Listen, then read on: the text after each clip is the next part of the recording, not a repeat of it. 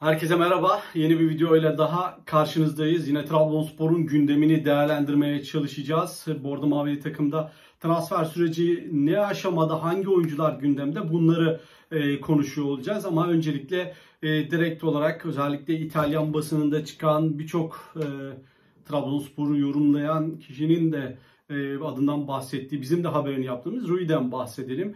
E, oyuncunun e, kulübüyle 2025 yılına kadar, Napoli ile 2025 yılına kadar sözleşmesi bulunuyor. E, Bordo Mavili takımın transfer listesine e, sokulmaya çalışıldı ama biz yöneticilere sorduk. Bu ismi doğrulatamadı. Şu an itibariyle bir ilgilerinin olmadığını, ama oyuncunun ismi ortaya çıktıktan sonra bir araştırma sürecinin olduğunu söylediler. Muhtemelen menajerler bu ismi Türkiye piyasasına e, sokmaya çalışıyor ve ama çok da ilgisiz değil açıkçası Trabzonspor. Yani sonuç olarak bakıldığında kariyerine, e, CV'sine e, çok e, kötü bir oyuncu gibi gözükmüyor ama dediğim gibi şu an itibariyle bir inceleme sürecinde Trabzonspor olur mu olmaz mı diye bir değerlendirme aşamasında. Bakalım ilerleyen günlerde bununla ilgili bir hamle olur mu ama Galatasaray'la da yine yazıldığını söyleyelim. Napoli sayfalarında çok fazlasıyla oyuncunun Trabzonspor'a gidebileceği yönünde haber var ama yöneticiler şu an itibariyle bu iddiayı e, doğrulamıyor. Bunun altını tekrardan çizelim. Çünkü daha önce de söylemiştim Abdullah Hoca sol bek transferi için biraz daha kamp sürecini bekleyecek ama orayla ilgili biraz da teknik detay verelim. Diğer transfer konularına gideceğiz ama şimdi şöyle bir durum söz konusu. E, kamptaki Tronsen performansına göre demiştik yani ya onu yedekleyecek oyuncu alınacak ya da yerli bir isim alınacak diye. Eğer sol beke bir yabancı alma ihtiyacı olursa Trabzonspor bu kez e, stopere yerli bir alternatif almak zorunda kalacak. Ama eğer sol bekte bir yerli isim bulabilirse Trabzonspor ihtiyacı karşılayacak doğrultuda bu kez stopere e, yabancı bir oyuncu alma ihtimali söz konusu olacak. Böyle bir fikir olduğunu da e, net bir şekilde ilet, iletelim. Ayrıca belki de ilk kez duyacağınız bir bilgiyi de size aktarayım. E, Trabzonspor e, hem orta sahada defansif orta saha oynayabilen hem de stoper oynayabilen bir yabancı oyuncu arayışı içerisinde şu an itibariyle. Orayla da ilgili bir e, geniş bir araştırma söz konusu. Şu an itibariyle isimler netleşmediği için e, çok net bir şey söyleyemeyeceğim e, şu isim bu isim diye. Ama orayla ilgili de bir ihtiyacını ve araştırma sürecinin başladığını çizelim. Ama bunun e, söylerken e, takımdan ayrılması gereken yabancı oyuncuların olduğunu da belirtelim. İşte Diabete ile Giresunspor ilgilenmeye başladı. Zaten e, başkanlar arasında çok sıkı iletişim var. Yine e, Flavio ile ilgilenen e, çok fazla kulüp var ama en çok isteyen yine Giresunspor. Belki gözümüzün önünde olsun düşüncesiyle o takıma bu iki isim kiralanabilir. Bunu da belirtelim. Şu an itibariyle Giresunspor'la bu doğrultuda görüşmeler e, sürüyor. Trabzonspor kiralama fikrine sıcak bakıyor ama e, oyuncunun da tabii gidip e, özellikle Diabete'nin de gidip e, Giresunspor'la görüşmesi, anlaşması gerekiyor.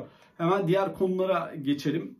Özellikle de e, yerli oyuncular konusunda e, çok farklı isimler ortaya çıkmaya başladı. Ama en dikkat çekici isim tabii ki Enis Destan. Aslında Enis Destan ismini yaklaşık 1 ila 1,5 ay önce yazmıştık. Teknik direktör Abdullah Avcı iki milli oyuncuyu istiyor diye. Biri Kenan Karaman'dı, birisi Enis Destan'dı diye ama Kenan Karaman olmadı. Yani Beşiktaş veya İstanbul'u tercih etti Kenan Karaman. Türk Trabzon'a gelme fikrine sıcak bakmadı. Enis Destan konusunda hala çok ısrarcı Abdullah Avcı. Oyuncunun gelişime çok açık olduğunu hem Trabzonspor'a hem de buradan da Avrupa'ya sıçrayabilecek potansiyele sahip olduğunu e, söylüyor. Ama tabii ki bunun tek farkında olan e, kişi Abdullah Avcı veya Trabzonspor Kulübü değil.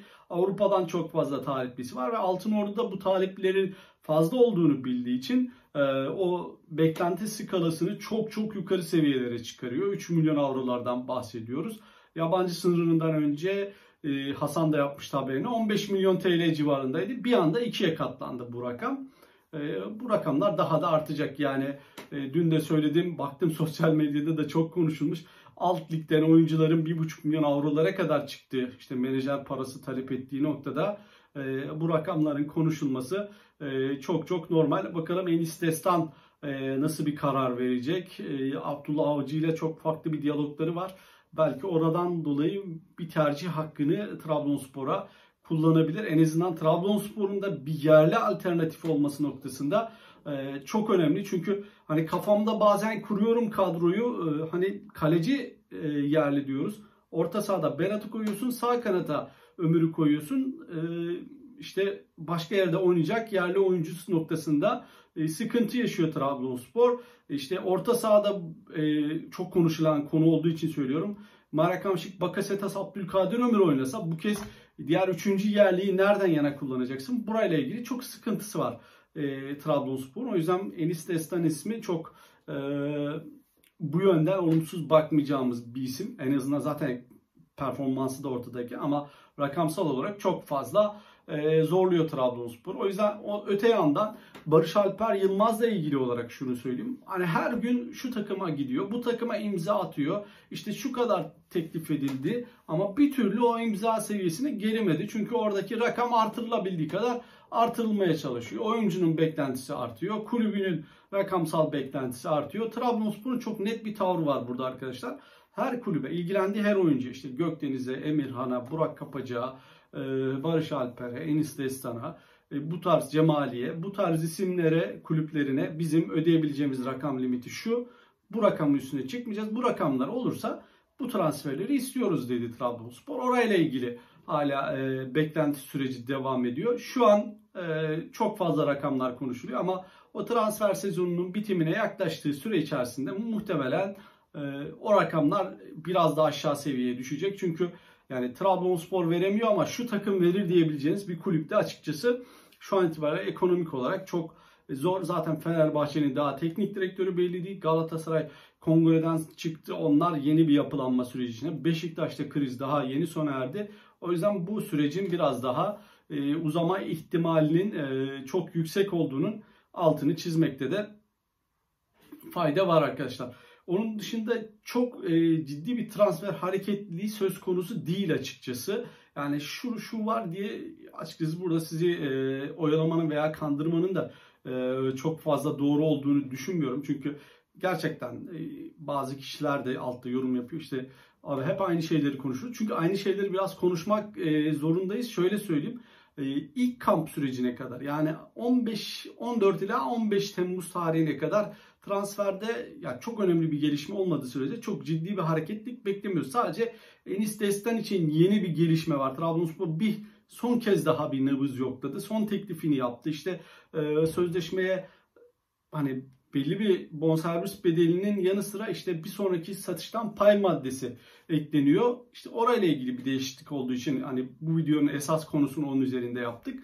Ama diğer konularda işte Kaan Ayhan'ın ismi çok fazla geçiyor. Az önce söylediğim gibi e, eğer yaba, sol, yani stoper, sol bek hakkını yabancıdan yana kullanırsa Trabzonspor Kaan Ayhan'ın bu sefer e, alınma ihtimali daha ön plana çıkabilir. Çünkü yerli stoper konusunda da çok fazla bir alternatif söz konusu değil zaten yerli oyuncu noktasında.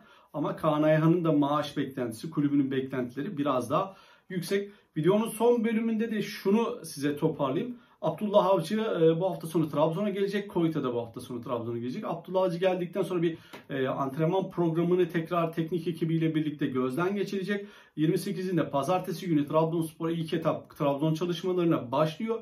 Trabzon'daki çalışmalar ağırlıklı olarak tanışma, kaynaşma, hafif tempolu antrenmanlar şeklinde geçecek ama tüm yabancı oyuncuların yani geçtiğimiz sezon kadroda bulunan tüm yabancı oyuncuların buraya davet edildiğini söyleyelim. Ayrıca Koyta da bunlara dahil. O da ligde e, yeni bittiği aynı dönem bittiği için o da buraya gelecek. Yeni transferlerden Bruno Perez ve Cervinho'nun ligleri bir hafta geç tamamlandığı için İtalya Ligi onların bir haftalık daha izin hakları bulunuyor. Ee, onun dışında Abdülkadir Ömür, Uğurcan Çakır ve Marek Hamşik Avrupa Şampiyonası'nda mücadele ettiği için onlar İstanbul'daki ikinci etap kamp çalışmalarına dahil olacak. Onların biraz daha izin süreçleri var. Buradaki Trabzon'daki çalışmaların ardından 4 Temmuz'da İstanbul Riva'da başlayacak kamp. 14'üne kadar e, ilk etap kamp çalışması sonra 2 gün izin sonra 27'sine kadar yine Riva'da devam edecek ve hazırlık maçlarının da yine İstanbul'da oynanması e, planlanıyor. Bir tane e, çok önemli bir kulüple hazırlık maçı ayarlama düşüncesi var ama henüz kulübü netleştirmediler. Yani üst düzey bir takım istiyorlar. Teknik direktör Abdullah Avcı daha doğrusu istiyor. Diğerleri orta ve düşük seviye. Zaten hazırlık maçı programı bu şekildedir. Düşük seviye, orta ve en üst seviye olarak planlanır. O bakalım yüksek seviye planlaması ne, ne şekilde gelişecek. Videoyu daha fazla uzatmayayım çünkü e, aynı konuları da tekrar edip sizin de canınızı sıkmak istemem. Bazıları tabii ki çok hoşuna gidiyor. Yeter ki bilgi alalım diyor. Bazıları ise sıkılıyor. Yine e, canınız sağ olsun diyeyim. Umarım bu videoyu da beğenmişsinizdir. Beğendiyseniz de beğen tuşuna basarsanız veya yorumlarda belirtirseniz özellikle yerli hakkını nereden yana kullanmalı Trabzonspor sizin buradaki düşünceniz ne? Bunları da bize aktarırsanız e, çok mutlu olurum. Kendinize iyi bakın. Sağlıcakla kalın. Allah'a emanet olun.